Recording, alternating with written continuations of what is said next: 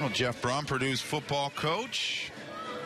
Big day here with his presence. Throwing out the first pitch, the former quarterback out of Western Kentucky. Didn't try to put too much on it. Doesn't want to show anyone up. No, he kind of lollipopped it in there. You know, I was expecting uh, a nice little screwball from him.